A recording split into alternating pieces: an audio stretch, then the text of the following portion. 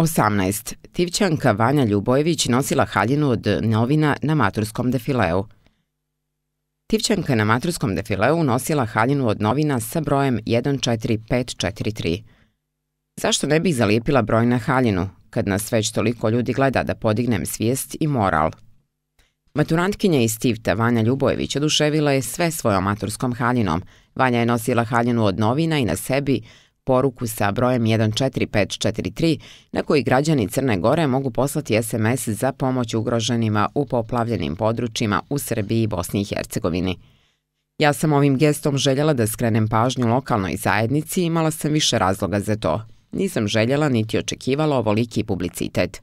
Ovo sam bila samo ja, ali sam svakako prijatno iznenađena i drago mi je da me ljudi širom Balkana podržavaju – Ja sam odlučila da nosim ovakvu haljinu još davno, prije situacije u Srbiji, a danas sam imala još jedan razlog, objašnjava Vanja na svom Facebook profilu.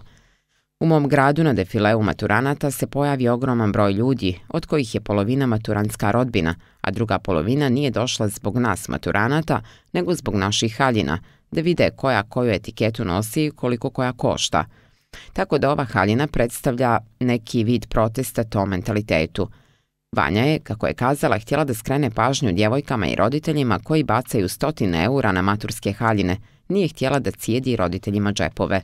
Haljina od papira, kako je napisala, predstavlja nju, njenu ličnost. Htjela sam nešto kreativno i u mom stilu, što mogu razumjeti ljudi koji me poznaju, napisala je Vanja.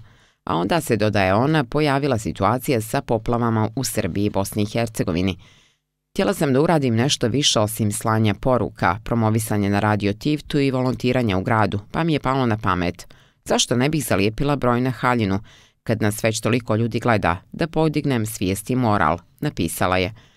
Od ideje nije htjela da odustane, iako je, kako kaže, dobila neku pristojnu matursku haljinu od babe.